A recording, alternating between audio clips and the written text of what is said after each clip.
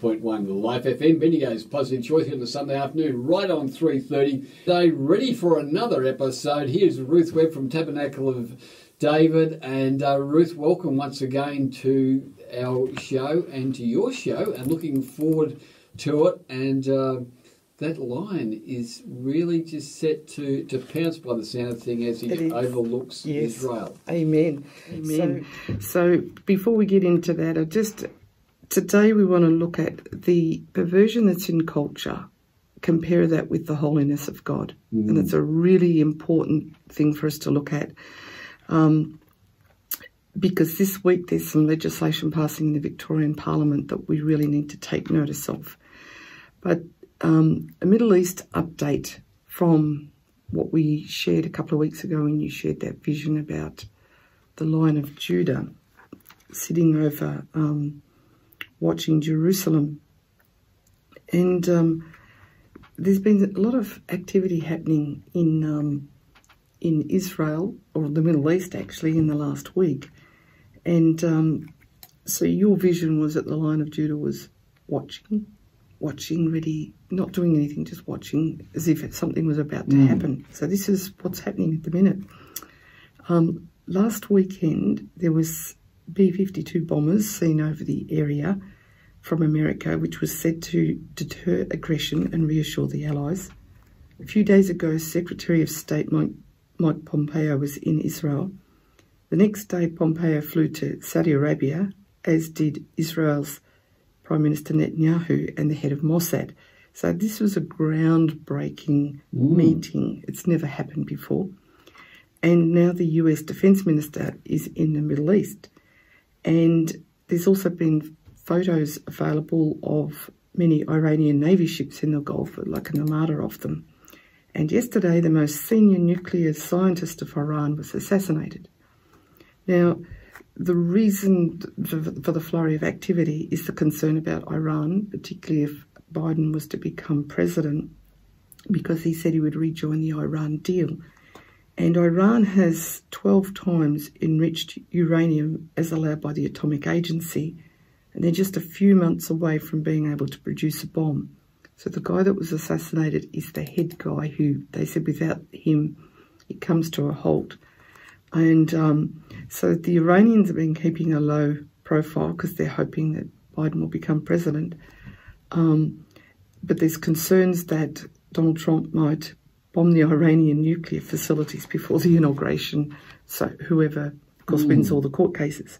So the Lion of Judah is watching, waiting. And so I just thought we're going to pray for Israel before we do anything else today mm, mm. because, um, you know, he's had us on alert since you had that vision.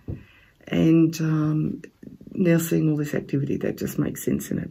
So, Father, we today just come before you and thank you that you are the Lion of Judah, that your eye is upon Israel at this moment.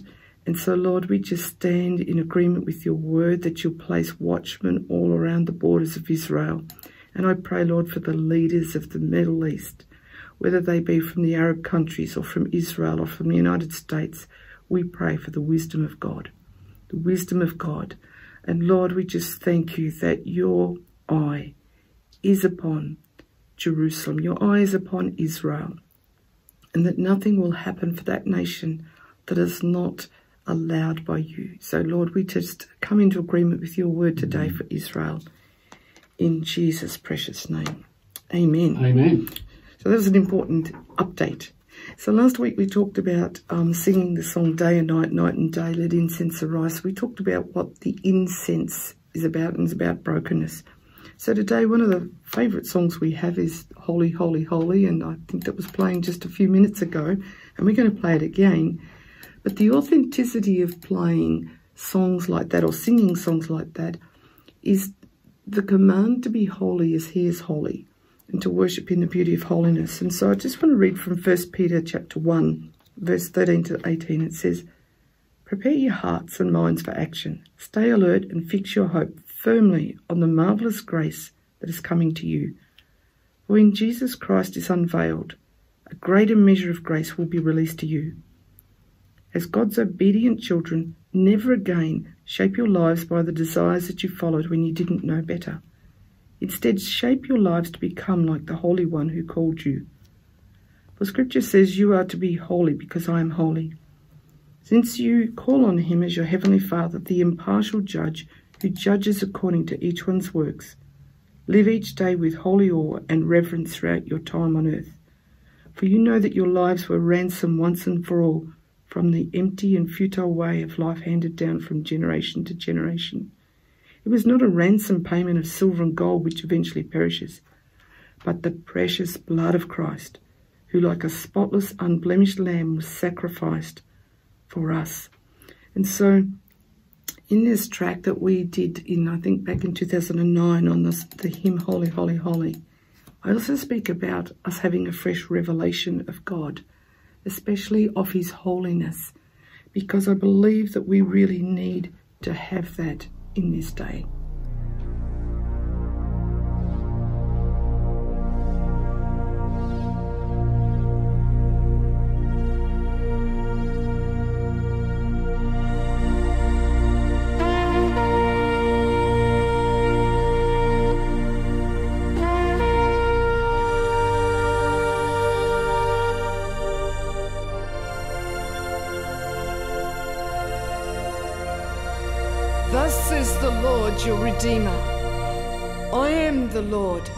Holy One, your Creator, your Maker, your Saviour, your King, your Husband.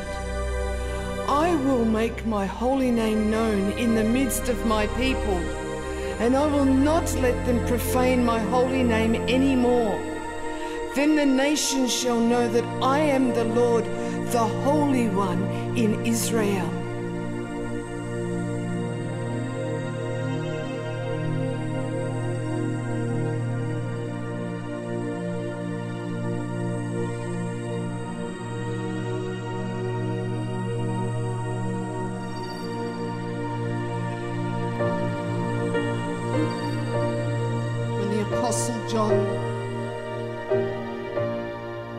Vision of Jesus.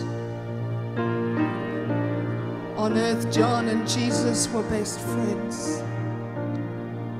But on the Isle of Patmos, John saw on the Lord's day, he had a vision of Jesus.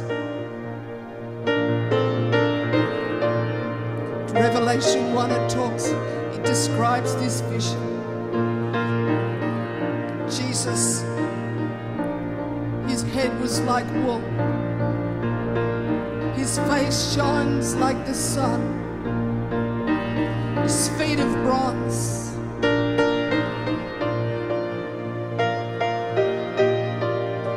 So spectacular was the sight that John marketed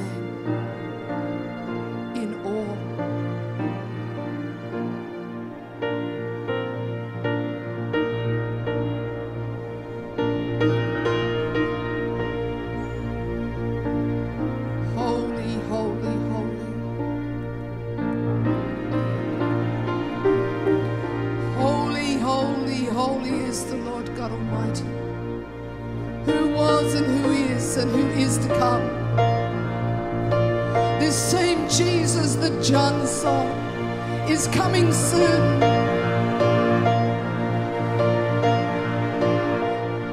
time he's not coming as a baby. He's coming as the King of Kings. He's coming to reign in righteousness. He's coming in all his glory.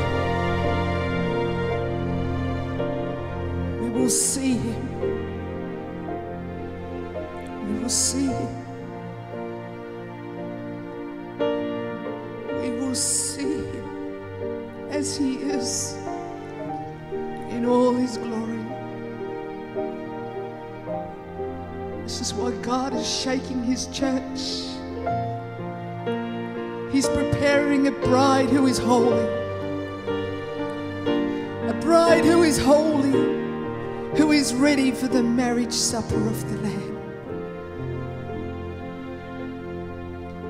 his bride will join the hosts of heaven. Releasing the sounds of heaven.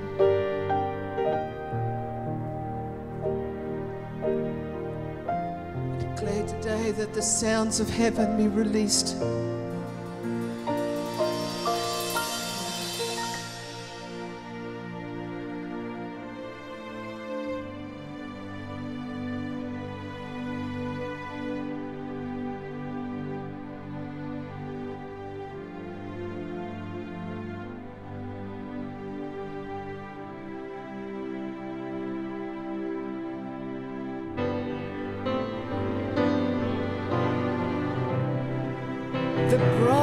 made holy by the blood of the Lamb and the fire of the Holy One. When Jesus died and entered into heaven to appear in the presence of God for us, he placed his pure, spotless blood on the mercy seat. Therefore, we can have confidence to draw near into the holiest place and to worship him. At Pentecost, the Spirit descended on men with tongues of fire. And before the throne are seven flames of fire, which are the seven spirits of the Lord. He is like a refiner's fire. He will purify the priests, his living stones, his spiritual temple, his bride, to be holy as he is holy. His fire refines us like gold, so we can offer Him sacrifices of worship that are acceptable and are righteous to Him.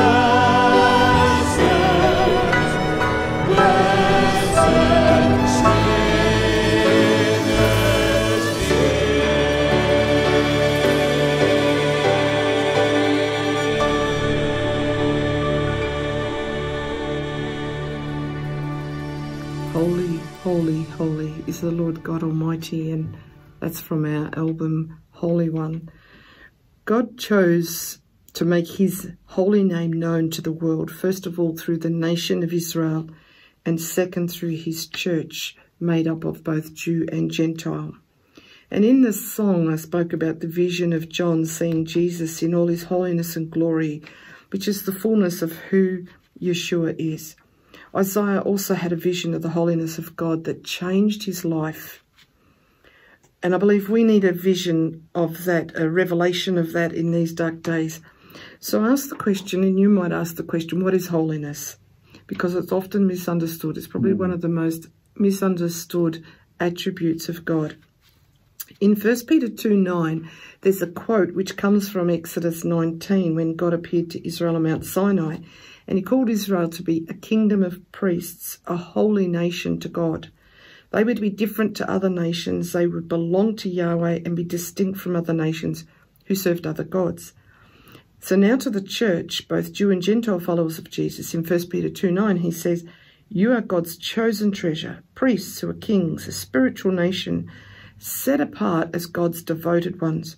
He called you out of darkness to experience his marvelous light, and now he claims you as his very own. And in that, he, in these scriptures in 1 Peter 1 and 2, he says, Be holy as I am holy. So he's really referring back to uh, Mount Sinai. So what do these mean, words mean? So in Greek, the word is hagios, which means to be clean, innocent, pure, chaste, morally blameless, physically or ceremoniously pure. In Hebrew, the word is kadosh, mm. and the next song we're going to sing is uh, to play today is actually called kadosh. So that's the Hebrew word for holy. And in Hebrew, the word means to be separated for God, to be dedicated, to be clean, purify, something special. Um, often we use the word to sanctify. And um, when you think of something that's special, I have a beautiful Royal Albert dinnerware set. And I bring it out for special occasions. I don't use it every day in the kitchen because it's too valuable. And so in that sense, holiness is like a people, a person, set apart for a mm. particular purpose. It's like um, it's special, but it's it's you look after it in a very special way, and so um, it's and the other reason, one of the other reasons, it's it's one of the most difficult attributes to understand uh, is God's holiness. Is first of all we confuse holiness with legalism, and I'm going to come back to that in a moment. Um, so we say, well, if we do certain things, attain certain behaviour, then we're holy. And that's not it, but, but that confusion um, really mm. messes us up. But the second reason is that we can understand God is love because even though our love is, you know, a little bit, um, well, it's not perfect, but we do experience love and we can sort of understand it even though it's not perfect.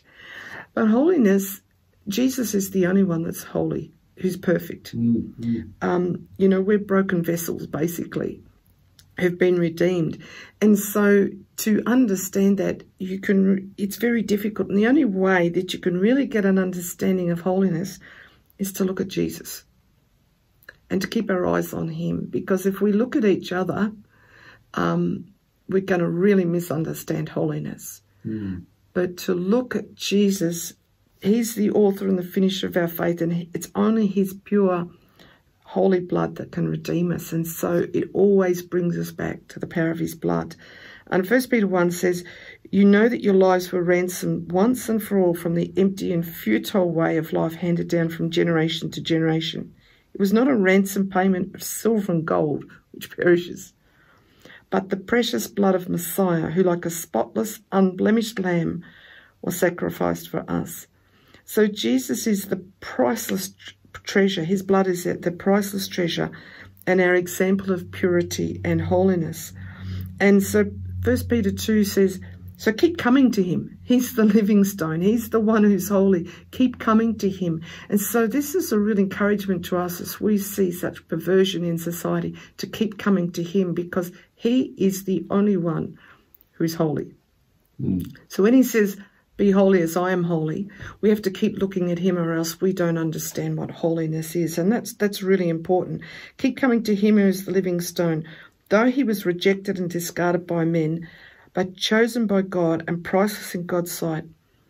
As believers, you know this great worth, his preciousness is imparted to you. So the preciousness of his purity is imparted to us. And it's receiving that. Um, we often don't realise or grasp the significance of that, um, I, I sense. So the pure blood of Jesus is the only basis of our salvation, our acceptance of the Father, and his preciousness is imparted to us. And so as we just contemplate about what holiness is, it is who God is, but it's the precious, pure blood of Jesus.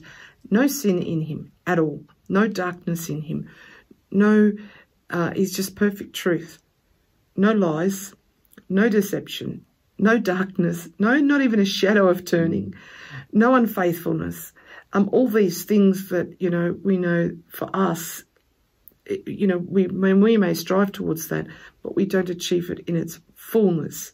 And so as we listen to Karen Davis singing um, Kadosh of the album Adonai, just remember that means holy, holy, holy.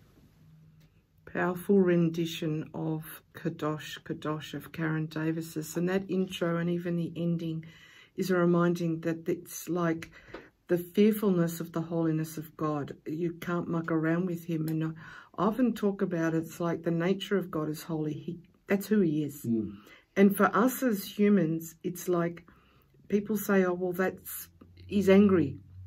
And I go, no, that's who he is. He's holy. We're like a, um, a fly, you know, a match and a match to a, uh, sorry, sorry, like a piece of paper and a match to a piece of paper just burns it. That's mm, that's its flame, nature because mm. a, a, flame to piece of paper just burns it. Mm. It's not a matter of love or hate. It's it's just the nature of it. And the nature of God is so holy that our unholiness, and that's why we need the blood of Jesus between us. But um, the thing is that the confusion between holiness or legalism, I just want to go there in this little segment, because in Mount Sinai, Israel was called to be a holy nation. And within that context, they're given the Ten Commandments. Mm. All right, so suddenly there's laws or behaviour mm. um, things that's given. Now, in Corinthians, in Hebrews 12 and in, in 1 Peter, the church is called the holiness, and there's several passages there. And it also starts to speak about behaviour. And so we can think that it's behaviour that makes us holy. Um, but that's not true. And I just want to share a little personal experience. In 1993, I uh, released my first book, Restoring True Worship, and it was subtitled Music, Holiness and Revival. And I'd walked through some fiery trials and really had an encounter with His Holiness because the Lord convicted me of idolatry within the church, mm. of my own mm -hmm. self within my heart, and also of music itself. And so I had to deal with a whole lot of things. And I didn't want to write the book. I said, God, I'm not a theologian, and etc., etc. But I was addressing my experience with God and what he was saying to me in that and in the call to the church out of that. And so where I addressed issues within the book about the call to holiness, I was not saying, do this, this, and this, and you will be holy. Rather, it was more like, if you love God as, you know, the first love and want mm -hmm. intimacy with mm-hmm. him, there are some things you'll need to deal with and you won't want to do. And so it's like, you know, the cleansing of our mouth, the cleansing of the things we watch, the cleansing of the, because you know it will offend the lover of your soul. And so, but I soon found out the hard way that many Christians and a lot of pastors actually confused the word holiness with legalism and I was attacked for preaching legalism. And I soon discovered that I, it, it shocked me because I had no idea that, you know, there was that confusion. And so depending upon the era you live in, the idea of legalism can say different things. Um, a long time ago, when I was growing up, it was if you're going to be holy, you can't go to the cinema. Mm. Um, or you can't, women, you can't wear lipstick. And there was one even further back that said you can't buy a washing machine. And so, you know, there's things like that we would look at, but there's certain things where it says, you know, avoid the appearance of evil. But in today's culture, so, you know, we were just chatting about this off air and it's like, uh, what about being politically correct? Mm. Or the language we use um, as the language keeps changing or don't judge people, be inclusive. Um, in a world where there's a lot of lawlessness, it's um, the interesting thing. And so we, we look at legalism as trying to have a right relationship or the right standing with God by doing certain things, by fulfilling a law. But righteousness is having a right standing or relationship with God purely based on the blood of Jesus and mm. our faith in him. And that's really a very important distinction. The behaviour comes out of that. And we'll mm. talk about that in a moment. But um, behaviour comes out of how he changes us. But how are we made holy? Well, um, we are set apart to God, and there's four basic things that I just want to share from the scripture. It's one, Hebrews 2, 11 says, Jesus, the Holy One, makes us holy. That's simple. Jesus makes us holy. In 1 Peter 1, 18, 19 says, We were ransomed by the precious blood of Jesus, who like a spotless, unblemished lamb was sacrificed for us. His preciousness is imparted to you. So that it's his blood that makes us holy. Number three, the prayer of Jesus before his betrayal in John 17 says, Your word is truth. And he prayed, Make them holy by the truth. So the word of God, the truth of the word makes us holy. And there's another scripture that says, or washed by the water of the word. So there's that mm. cleansing made holy by his word. And the fourth one is probably our least favourite of all. Um, because in Hebrews 12 it says this method of holiness is his discipline. Mm. And um, of course we go, oh, don't like that one. But it says in Hebrews 12, verse 5 to 6, My child, don't underestimate the value of the discipline and training of the Lord God. For the Lord's training of your life is the evidence of his faithful love. So he, gave, he says, who he loves, he disciplines. Who he loves much, he really disciplines. And it says, fully embrace God's correction as part of your training. For he is doing what any loving father does for his children. So those of us that are parents, we know the importance of discipline mm. so that our children won't run on the road and be hurt or whatever.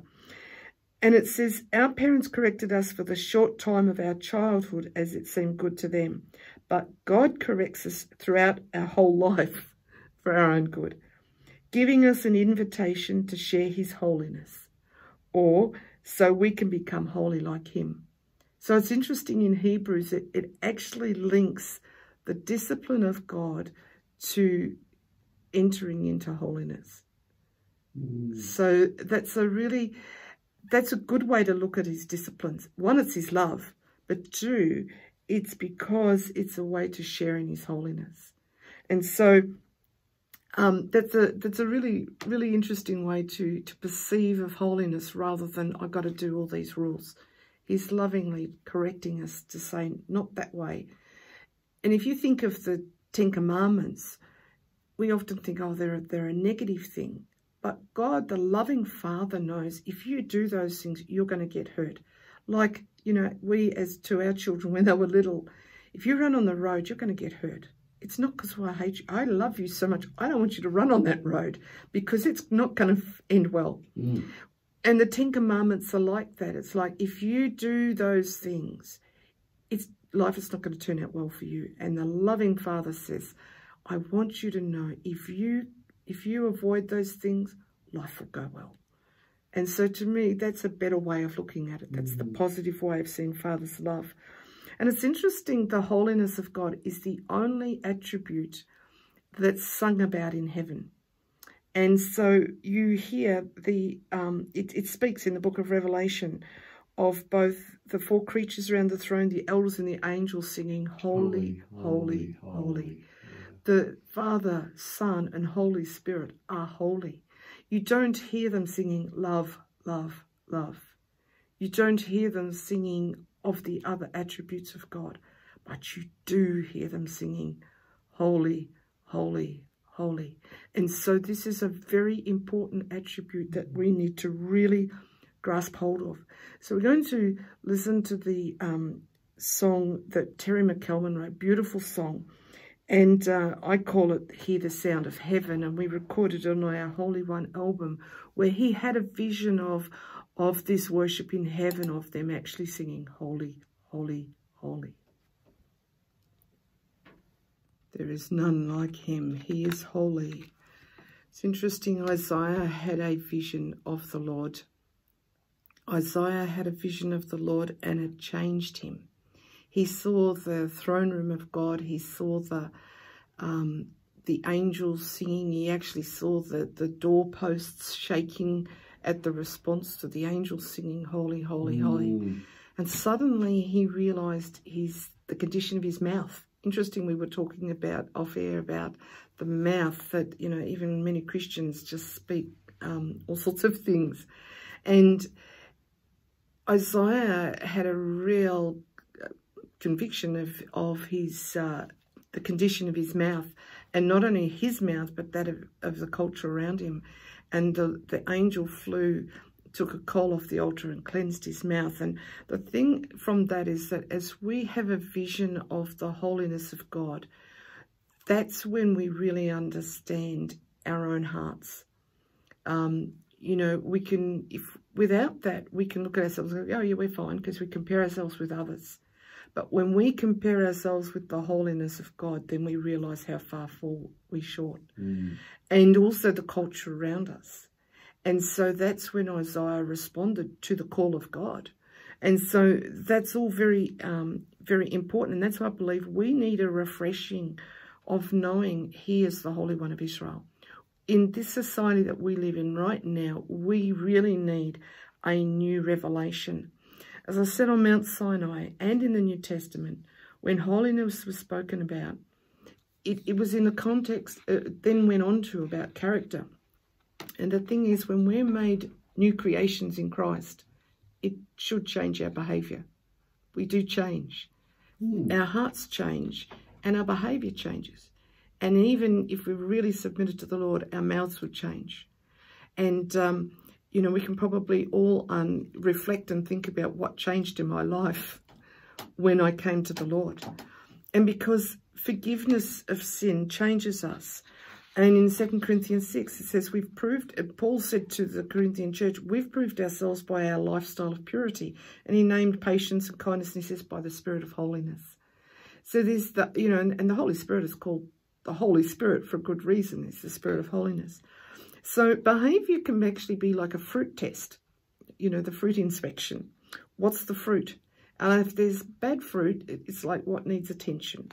And so holiness is not produced by following rules or by good behaviour, but it can be a fruit or a sign of where we've allowed the blood of Jesus to work in our hearts. So in that sense, it, it can be a, a fruit test. And one of the big fruit issues that show up uh, regarding holiness is immorality. Mm -hmm. It's um, because holiness is about purity and being separated to God. And in the same way, sexual purity is about being separated to your spouse, which because it's ordained by God and is beautiful. And Ephesians 5 talks about the picture of marriage and the relationship with hmm. God. Mm. But in 1 Corinthians 6, 13, Paul says the body was not created for illicit sex, but to serve and worship the Lord Jesus. Paul speaks to the Corinthian church quite severely about immorality. And I would suggest it's a good message to our culture as well, mm -hmm. um, especially since the sexual revolution of the 60s. The Corinthian church, the culture was very debased. The idolatry was based on the Greek gods, the giants, and all the, all the stuff to do with that. It was strong in the society, but and it had a perversion with it, a lot of immorality, um, including pedophilia amongst elites. And it impacted the church. So people came to Jesus. New converts came to the Lord, but they decided they'd like to keep their immoral lifestyle as well. And so Paul's writings in both 1 Corinthians and 2 Corinthians, especially the sixth chapter in both books, is about sexual immorality and about idolatry. And particularly, you know, whether it's pagan worship, which is to do with demonic things. So I just want to read from 1 Corinthians 6, verse 15 to 20. And Paul says, Don't you know that your bodies belong to Christ? Should one presume to take the members of Christ's body and make them into members of a harlot?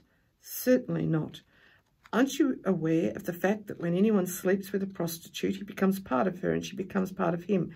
The whole talk of, you know, becoming one flesh. Mm. Verse 17 says, But the one who joins himself to the Lord is mingled into one spirit with him. And so unity of spirit between God and our, our spirit and God's spirit is often the place we come to in really the purity of worship. It really is that place of that oneness that's there. So verse 18 says, This is why you must keep running away from sexual immorality. For every other sin a person commits is external to the body, but immorality involves sinning against your own body. Have you forgotten that your body is now the sacred temple of the Holy Spirit, or the Spirit of holiness, who lives in you? You don't belong to yourself any longer, for the gift of God, the Holy Spirit, lives inside your sanctuary. You were God's expensive purchase, paid for with tears of blood, or in other translations says you were bought with a price. Mm. So again, you know, the holiness comes by the blood of Jesus, but it's saying our bodies are the temple of the Holy Spirit. So immor immor immorality is acts against the body, but it's like it's defiling the spirit of holiness who lives in us. So this is a really important issue um, in for the church in our culture. And where idolatry is really the antithesis of true worship, immorality is one of the sins that's not only rampant in our culture, um, it's the antithesis of holiness, but it violates holiness, but it's also a problem in the church today. Tolerance of immorality um, within the church has actually quashed our authority in our culture. Um, and it's minimized our voice even as we sing songs like Holy, Holy, mm, Holy. Mm -hmm. So when subjects come up in, in our culture, for example, like same-sex marriage or all those sorts of issues, I sense that sometimes we've lost the debates because we haven't dealt with those issues in-house. And so I'm just going to read some, as some statistics, get over these big words. In 2016, the magazine Christianity Today reported on a Barna Group survey of 3,000 adults, teenagers and pastors. And it said over half of the pastors and over half of the youth pastors admitted they struggled with pornography, either currently or in the past. It's very high. This was 2016. Mm. At the time of the survey, 21% of youth pastors and 14% of pastors admitted they currently struggle with using porn. Around 10% said they were addicted. 47% of men and 12% of women see, said they seek out porn at least once or twice a month. And about 30% of Christian men and 6% of Christian women actively look for porn during that time. And that article could be found on the internet of Christianity Today. There's other in, um, websites and ministries in Australia that deal with that. They say the issue is very, very high. And I know that the idea of taking God's grace, and his grace is that he will forgive us, but some have extended to say, well, then I can do what I like. And so when the church is either silent or we compromise, particularly compromise and don't call to account those mm -hmm. things, it weakens our testimony and our authority. So issues like how often do you hear in the church speaking about sex before marriage? It violates the covenant and we need to deal with it. Pornography, I've just referred to, homosexuality, pedophile, bestiality, New Age and occult, and other idolatries like Freemasonry, a whole lot of other things. And generally you find where there's those um, other isms that people believe in, generally there is sexual immorality is a part of those mm -hmm. um, things. So right now, this is really important. Last week in the Victorian Parliament, they passed in the lower house what's called the conversion therapy legislation, and it's due to go through the upper house this week. I'm going to read from the Premier's website on this legislation, and it says, and I quote, cruel and bigoted practices that seek to change or suppress a person's sexual orientation or gender identity will soon be stamped out across Victoria, thanks to new laws introduced to Parliament today. The Change or Suppression Conversion Practices Prohibition Bill 2020 will put in place new measures to protect Victorians from the serious damage and trauma caused by conversion practices. Now, what that means is that parents, pastors or counsellors will not be allowed to advise young people that are struggling with their gender identity. Now, as a teacher of young people, you know that uh, teenage years are the biggest of identity confusion mm. Mm. and trying to work out who you are. And, and knowing who you are is a big issue throughout life. So sometimes they get caught in this whole thing. And it will become illegal to say there's anything wrong with sexual sin, especially about homosexuality, but also adultery, fornication. And the penalty will be two years in jail or a $10,000 fine or both. So this is a real warning to the church of not compromising, but also getting our own house in order. Really mm. getting our own house in order to have authority to speak. And the only way we can is when we look at the holiness of God. Paul warned the Corinthian church of compromise. In 2 Corinthians 6, verse 14 to 16, he said, How can you have union between demonic practices and coming to the table of the Lord in communion? Mm. And he said, You can't. And he lists, you know, he says it in a few different ways. And then he says, Come out from among them and be separate. So that's another word for holiness. Touch nothing that is unclean, and I will embrace you. And this is the Lord saying, I will be a true father to you, and you will be my beloved sons and daughters, says the Lord Yahweh Almighty. So the fatherhood of God is linked to us being separated from this. And he says, remove everything from our lives that contaminates body and spirit and continue to complete the development of holiness within us. So there's a very strong link between these things. Now, we have ministered to many people who have known the forgiveness of God for perversion because holiness has been a very strong revelation, not only have I had personally, but in the throne room worship, the holiness of God is pertinent. And so we have had people come in that have been um, previously involved, before they've come to the Lord, involved in sexual sins and even perversion. And where they've known the forgiveness of God, they've struggled and even tormented by the shame and the guilt. Mm -hmm. And the defilement to the soul can actually cause brain damage, you know, and, and it's conflict with holiness. And so I simply say, and Derek Prince has got a brilliant teaching on this about shame, about appropriating the blood of Jesus and the word to cleanse the conscience that's been seared and the brain cells that have been even destroyed by, by these things. So Hebrews 10 says this, verse 14, By his one perfect sacrifice, Jesus made us perfectly holy and complete for all time. Mm. We come closer to God and approach him with an open heart, fully convinced by faith that nothing will keep us at a distance from him, for our hearts have been sprinkled with blood to remove impurity and we've been freed from the accusing conscience of dead works. And now we're clean, unstained, and presentable to God inside and out. And in Colossians chapter 1, verse 20, it says, By the blood of his cross, everything in heaven and earth is brought back to himself, back to its original intent, and restored to innocence again.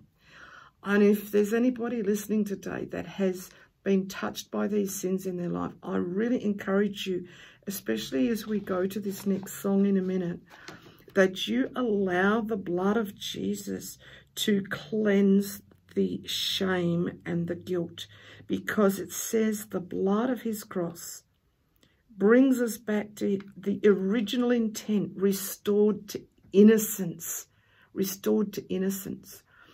And the song we're going to play is Oh, the Blood of Jesus. And I just want to share something. I had the most powerful dream last night. I won't go into the details of it, but in the dream, I heard the song Oh, the Blood of Jesus playing in a stadium. It was a sports stadium. And a couple of people just stood to their feet as it began to play. And they stood to their feet like you would with the national anthem. This man took off his hat, placed it over his his heart, like you would with the national anthem. But the in him, as I watched this in the dream, it was like this man had experienced the power of the blood mm. in such a powerful way. And I could feel the power of the blood. And I woke up singing, Oh, the blood of Jesus. So this version we're going to play is by Joshua Aaron. He's a Messianic Jewish man and he sings it in English and in Hebrew, but I just encourage you to sing with it and to take hold of the blood of Jesus to cleanse, to cleanse. You may have known his forgiveness, but allow his blood to touch areas of guilt and shame and all perversion and anything that's touched you. And also where there's been relationship damage to bring reconciliation. His blood is enough. Oh, the blood of Jesus. His blood washes as white as snow. So I just encourage you today as we uh, finish today that you have a fresh vision of His holiness. Go to Isaiah chapter 6. Go to Revelation chapter 4 and 5 and soak in that to get a, a real fresh vision and ask the Holy Spirit to show you who Yeshua really is the pure, pure Son of God. His holy blood cleanses us. So we're going to go out with another song of our album, The Holy One. It's simply, Holy is He.